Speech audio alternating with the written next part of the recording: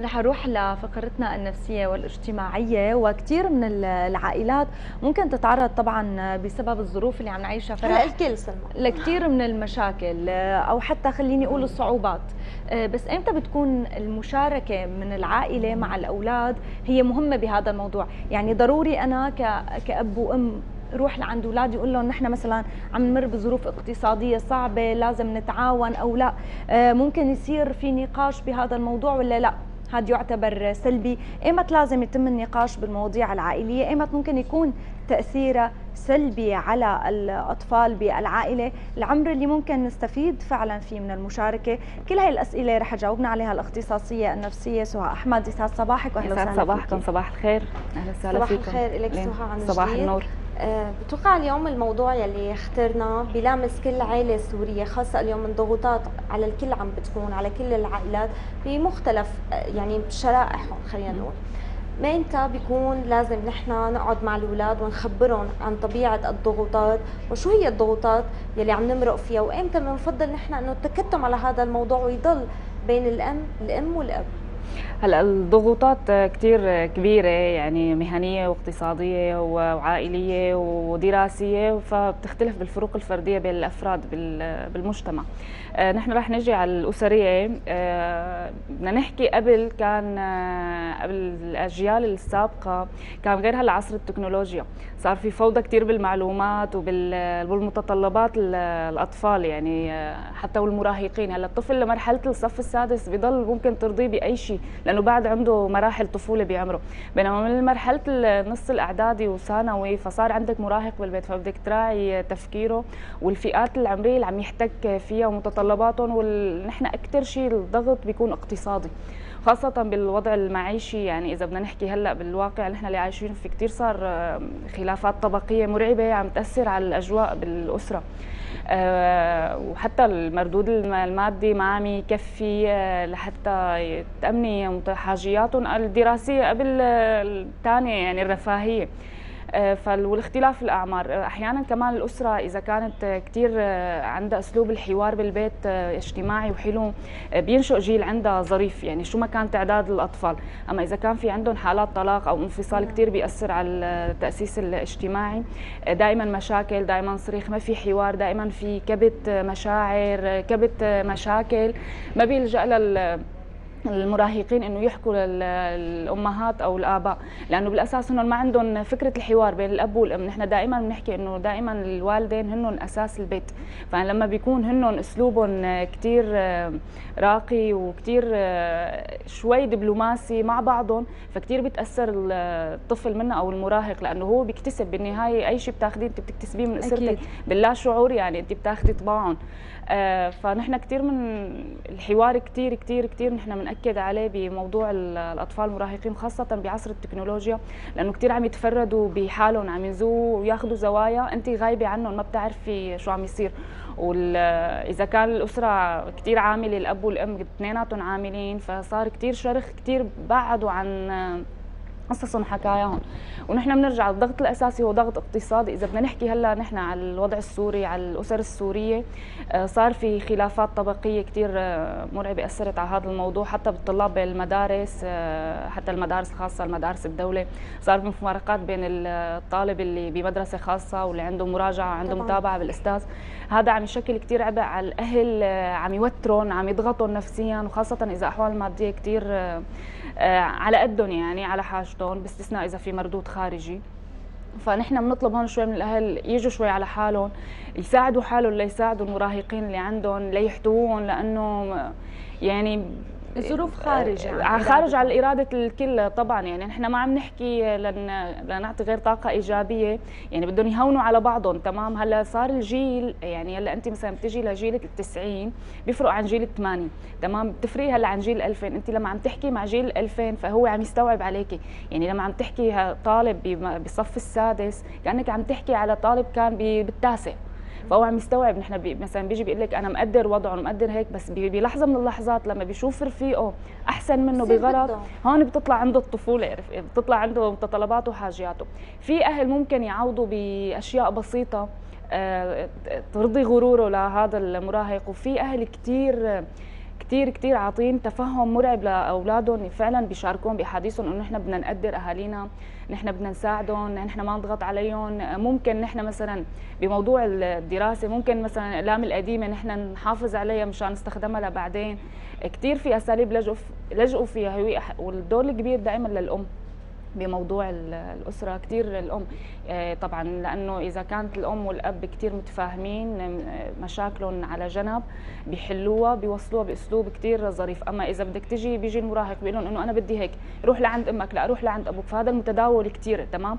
فبينزلوا بيصير بينزل عبء على الثاني وما بيوصلوا لحل ما بيوصلوا لنتيجة. بيوصل المراهق إنه أنا شو البيت اللي عايش فيه تمام, تمام؟ نسمعها حتى إيه لا لا موجودة نحن موجودة وعايشينها وما عم نحكي شيء خارج عن نطاقنا ما عم نحكي ببلد ثاني عم نحكي معاناة يعني المجتمع والأسر اللي نحن عم نعاني فيها. بالمقابل في كثير أسر منفكة في كثير طلاق في كثير حالات انفصال مرعبة في زوج أم في زوج في زوجة أب في تشرد أطفال برا البيت ما في حدا عم يحون. عرفتي؟ هذا بيقلع من هون هذا بيقلع من هون. في كثير أسر تركت اولادها المدارس مشان يجيبوا آه، مدخول مادي. يعني كثير الموضوع كثير متشعب وكثير قوي. وأحيانا بيكون في أطفال مريضين عندهم حالات ذوي إصابات هي ذوي حاجات خاصة. في أحيانا أهل ما بيعرفوا يتعاملوا فيها فبيصيبهم ضغط كمان بالأسرة. فأنت ما بتعرفي أحيانا ليش بضلوا متوترين لأنه في شيء مخبى عندهم. فدائما بيقولوا لك البيوت أسرار أنت ما بتعرفي شو فيها. فنحن بنحاول قدر المستطاع إنه الأب والأم يوصلوا لنقطة اتفاق قوية كثير يساعدوا هدول المراهقين ليساعدوا حالهم بدراستهم وبأمورهم مستقبلا يعني مشان ما ينصدم بالواقع بعد المدرسة. تمام. أكيد. فرح يمكن كثير بنسمع أوقات إنه ابني أكبر من سنه. يعني ابني بيفهم كثير أوقات أنا بكون ما بدي أقول له على هذا الشيء بس هو لحاله بيجي آه، بيتعامل معي آه، بالطريقة الصح. آه هذا الشيء ناتج على إنه مثل ما قلتي إنه العائلة عم تتعامل بشكل صح. لهون بدنا نسأل عن الأسلوب. الأسلوب اللي ممكن تتبعه يمكن الأم أو الأب بالتعامل لحتى يوصل آه، آه، خليني أقول المشاركة أو تصير هي عادة موجودة بين العائلة. النتيجة الإيجابية. آه رح أرجع لك لما بيكون في حوار للأب والأم آه لنفترض بمرحلة الطفولة ببلش الوعي بال... غير الحوار التصرفات التصرفات اللي ممكن آه يعملوها أول شيء الصراخ بالبيت. كثير كثير في أسر ما بتتغاضى عنه ما بايماءات الوجه لأنه أحيانا الطفل قارئ لوجهك لأنه هو فعلا بيكون قارئ لمعالمك وإيماءاتك إمتى معصبة إمتى أحيانا في أطفال بيجي بيحضنوا أمهم إذا كانت عم تعيط أو عم تصرخ تمام؟ فهو قارئ. يعني نحن دائما نفكر الطفل ما فهمان بس فهمان بس بنسب معينة. آه اسلوب التربية برجع بقول لك الاتفاق بين الزوج والزوجة كثير عامل مؤثر. أسلوب التعامل تبع مثلا بعد إذنك بدي كاسة مي تبع تمام؟ بعد إذنك بدي كاسة مي فبيكتسبها الطفل. okay؟ بينما لما بتيجي بيقول له إنه جيبي لي كاسة مي تمام؟ فهو بنفس المرأة جيبي لي كاس مي فهو عم يأسس تأسيس أهله تمام؟ فلما انت بتوصلي معه لمرحلة المشاركة مثلا إنه نحن اليوم نازلين على السوق بدنا نجيب مثلا هيك وهيك هو يتعلم إنه أنت حصصتي له تمام؟ فلما بيجي بيجي أوقات مادية سيئة هو متعود تمام؟ يعني متعود أنت لا لا شديتي ولا رخيتي لهذا الطفل فهو تاقلم معه فبصير واعي لهذا. فبتكبر سنة مع سنة بيحاوروا بيقعدوا معه بياخذوه معه زيارات. الاختلاط الطفل بالأطفال الآخرين بيعزز له الاجتماعية القوية كثير عن الطفل يلي ما بيحتك بحدا. كمان مثل ما انت أنا وياكي اجتماعيا قوايا الطفل مع الأطفال الثانيين كمان عندهم اجتماعية وبيتحاوروا. أوكي. إيه، المشاركة من الأهل كمان برجع بقول لك دائما دائما هي من الأب والأم دائما يكون في تفاهم بيناتهم ما في صراخ ما في عياط ما في مشاكل ما يوردوا مشاكلهم للطفل. حتى لو لو بأي نقاش جانبي دائما تكون نقاشاتهم بعيدة. لمرحله المرحله الإعدادية ممكن ببلش بيستوعب هذا الموضوع. تبع موضوع إنه أكبر من عمره التكنولوجيا كبرت كثير الجيل آه، صارت المعلومة توصل له بسرعة. البنوتة كبرت من وراء التلفزيونات والعم يصير. آه، فكبرت حاجاتها ومتطلباتها وصار عندها رؤى بعيدة عن جيلها تمام؟ ف يعني صارت إنه مثلا إنه أنت مثلا هلأ شافتك على التلفزيون كثير انعجبت بشكلك بس هي بمرحلة إنه ما بيصير. بدها تضطر امها مشان ما تعمل شيء من خ... من وراها بدها تضطر تلبي لها هي الحاجة بجزء صغير منها. لت... يعني لتغريها بهذا الموضوع بس نعم. بالمقابل ما تحرم لطفولتها الشباب كمان مراهقين يعني كمان تأثروا بالشيء اللي عم يصير وبرجع بقول لك يعني اختلاف أجيال وفروقات فردية وفروقات بالأسر الاجتماعية وال والمشاكل والضغوطات اللي هن عايشين جواتهم. ممكن يكون في حالة مرض بالبيت تضغط عليهم مريض أب أم طفل عندهم. ممكن يكون في كتير تعداد أفراد أسرة مثلا يكون في عشر أطفال تمام؟ بكذا مرحلة عمرية. هذا كمان بسبب ضغط. هلا انتبهي اللي بيكون عنده تعداد هلأ بهالأزمة يلي عنده ولدين أو ثلاثة. قدران يشيل حاله تمام؟ في تفهم بالبيت. أما اللي عنده سبعة وثمانه كثير في عبء عليه وخصوصا إذا ما في مردود مادي يشيلهم. فإجباري بدها تنخلق مشاكل. إجباري قولا واحدا. أنا ما رح ما حكيت لك كمان عن اختلاف البيئة اختلاف المعيشة الثقافة إذا دارسين الأهل بالبيت ما دارسين. إذا مثلا الزوج دارس الأم مثلا دارسة كمان هي بيخلق صراع طف الزوج والزوجة. تنعكس على الأطفال لما بيكون في توافق فكري بين الرجل والمرأة كثير بيصير خلاف بتصير بتعملي إسقاطات لأولادك تمام. بتصير مثلا إذا كثير هو مثقف درجة ثقافته عالية والمرأة كثير ست بيت فبيصير بلحظات بي بيصير في أسلوب يعني نحن في أسلوب بيسئلها قدام أولادها. إنه أنت شو فهمك؟ أو شو عرفك تمام. فبيجي ابنها بي بي بيوجه لها هي الكلمة لأنه هو تلقانا من أبوه فما صار هون ما في احترام للأم. عرفتي كيف؟ فدائما المشاركة الزوجية كثير حلوة تكون بالعاطفة قبل المادة لحتى انت تقدري تشاركي ماديا. سؤال الموضوع يلي عم نشوفه كثير حكينا عنه بإشارة بسيطة أو سريعة إنه اليوم الأولاد إن كانوا أطفال أو مراهقين أو حتى بالغين عم يندمجوا بهذا المجتمع. قد إيه مهم الأهل يكون لهم رأي وتدخل يمكن حتى بالأصدقاء يلي هن عم يعاشروهم ويلعبوا معهم ويطلعوا معهم؟ أول شيء يكون طبقة قريبة من بعضها البيئة متشابهة وحتى مراقبة تصرفات الأطفال لحتى يمكن نخلق لهم آه، نوع من من التجاوب. إذا أي أم أو أي أب بده يطلب طلب من ابنه كمان يقدر. إيه طبعا. هلا مثل ما حكينا نحن حكينا عن اختلاف البيئات والطبقات. انتبهي انت دائما في أجزاء بالبلد معينة كل يعني كل محور أو كل طبقة عايشة جنب بعضها. لما صار بالمدارس الخاصة اختلاط صار ممكن الموظف على راتبه على قده يشتغل شغل ثاني ليأمن دراسته لابنه بمدرسة خاصة. فبيساعدوا بهذا الموضوع. بس في خلاف طبقة ثانية ما ما بيتواكبوا ما يعني ما سقف الطموح عنده مثلا بمستلزماته المادية ما بتعلي لهذا الطفل. فبيرجع على البيت بيقول له إنه أنا اليوم رفيقي عامل هيك أو لابس هيك أنت ليه ما قدرت؟ بيقول له أنا ما بقدر امن لك غير مثلا دخل المدرسة لحتى درسك. الجانب العاطفي عن هذا المادي الضغط المادي اللي عم تعيشه ممكن؟ طبعا إيه. آه وبرجع بقول لك طبقات دائما نحن نحاول اللي مثلنا تعالى عنا نحن دائما بنحكيها آه بأصدقائنا. آه لما بيكون أساسك صح أساس بيتك صح أنت بأي طبقة بتتواجدي فيها قادرة تتاقلمي معها بإمكانياتك بوضعك. أنت منك لحالك هو المراهق لما أنت بتاسسي صح منه لحاله بصير بيلتزم إنه أنا ما فيني جاريك فأنا بلتزم برفيق اللي مثلي. بس سهى مو دائما بيكون المعيار المادي هو الأساسي بالتقييم.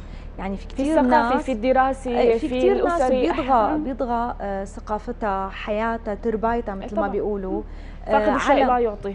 تربايتها بتغلب على أي شيء ثاني فهون نحن لازم نركز يمكن أو نحكي لكل يلي عم يسمعنا عن قد إيه فعلا الترباية والقواعد اللي ممكن الشخص يتعلمها بالبيت هي الأساس اللي بتخليه يكون عنده هذا الحصن المنيع من أي شيء. أكثر من ما أنا ركز على إنه هذا إشباع آه ذاتي. وين ساكن شو عم يعمل قديش بياخذ فنحكي شوي عن هي التصرفات اللي هي العائلة بتقدر تدخلها. إيه موضوع الأسرة دائما لك في عادات وتقاليد بحسب آه، الأسرة. هي العادات والتقاليد مو عادات مجتمع وهيك إنه العادات مثلا الصبح بفيقوا بيلتزموا بوجبة الإفطار بيلتزموا بوجبة الغداء. آه، بيرجع الطفل من أو المراهق يعني بمرحلة المدرسة بيرجع آه، بتجي أمه بتقعد معه شو اخذتوا اليوم شو عملتوا مين رفقاتكم مين مع مين حكيتوا مع مين ما حكيتوا حد مين قاعد مو حد مين قاعد. فهون الأم بتكون عم تتواصل أو الاب إنه مين رفقاتهم آه، شو عم يصير أحاديث شو آه، كيف انتباهه بالدرس. آه، لما بتسأله شو أخذ شو كان اليوم عندكم بالحصة الأولى والثانية والثالثة فلما بيعرف شو هو عنده فمعناتها هي ممتاز متابعته بس بأسلوب كثير لطيف ما يعني إنه عم عم تزعجه بموضوع الدراسة. هي شغلة. آه، التدريس مثلا بتكون متابعة دروسهم متابعة رفقاتهم. دائما الأهل بيحبوا يحتفظوا برفيقين أكثر شيء ما بيحبوا يوسعوا الدائرة مشان يعرفوا أهله ويعرفوا شو خلفيته. آه، ممكن كثير في رفقات رفقات دراسة يعني مثلا يكون أنت مثلا أنت عندك تقصير يكون مراهق عنده تقصير بمادة الرياضيات رفيقه شاطر. ممكن يجتمعوا اي فبيجتمعوا بيقعدوا بيدرسوا آه، بحسب الأهل طبعا تحت إدارة الأهل بيعرفوا وينهم آه، في كثير أهل عندهم أسلوب كثير حلو بيجيبوا الأولاد تدرس عندهم بالبيت ما بيضطروهم يطلعوا لبرا أو يدرسوا لأنه تحت إشرافهم و آه، ولطافتهم ومثلا بتجي الأم إنه أهلين خالي كيفك؟ شو أخبارك؟ حتى الأسلوب الأهل أنا برجع بقول لك الأسلوب الأهل هو هو العامل الكبير حتى بعلاقاتك. أكيد. حتى بعلاقاتك. فدائما هن لما بيكون هن ايجابيين واسلوبهم راقي ولطيف واجتماعي فدائما بيتأثر فيه. فليك هن شو أساسهم؟ فانت بيكتسب المراهق مننا أو الطفل. تمام أكيد يعني تفاصيل كثير صغيرة متشعب الموضوع كبير. بتأثر على الشكل العام إذا بدنا نقول وإذا دورنا بهي التفاصيل رح نعرف حل كل مشكلاتنا بضل يمكن القرب من الأطفال والقرب من الأولاد هو الحل لكل المشاكل. بدنا نشكرك كثير سهى. شكرا, شكرا لكم. شكرا لك شكرا لك. شكرا لوجودك.